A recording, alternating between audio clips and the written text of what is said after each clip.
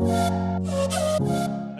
And welcome आज हम मौजूद हैं एम मार्केट में। और जैसे कि आप ये खूबसूरत शाकार देख सकते हैं, ये 1884 से 1889 के दरमियान बिल्डिंग बनी थी। ब्रिटिश राज एरा के ये टाइम की बिल्डिंग है।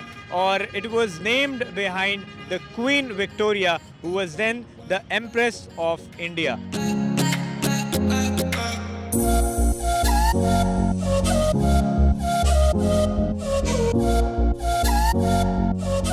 मौजूद हूँ मैं इस वक्त एम्प्रेस मार्केट के मेन गेट की बिल्कुल बाहर और यहाँ से हम अंदर जाएँगे और देखेंगे कि आज क्या कुछ मिलता है। बिल्कुल आपको दिखाएँगे। लेट्स गो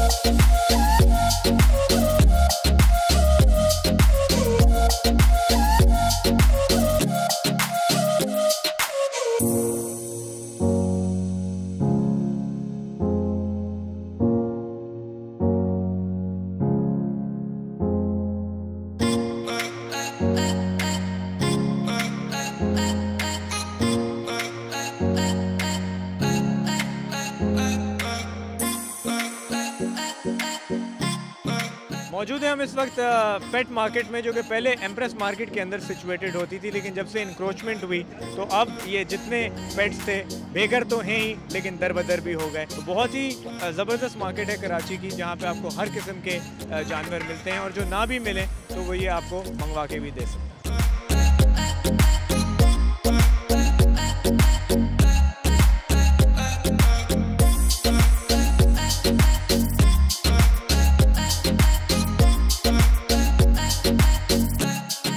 तो आज एम्प्रेस मार्केट आकर बहुत सी चीज़ें पता चली, बहुत सी चीज़ें हमने देखी। पॉजिटिव साइड देखें तो यहाँ एक गार्डन बन गया है, खूबसूरती बढ़ गई है स्पेस हो गई है ट्रैफ़िक रश अब कम होने लगा है। लेकिन उम्मीद यही है कि जल्द अज जल्द ये मार्केट वापस बहाल हो जाए, ताकि जो एक एम्प्रेस मार्केट की रौनकें थी, जो यहाँ पे एक सदी से ऊपर से चली आ रही हैं, वो वापस बहाल हो सके।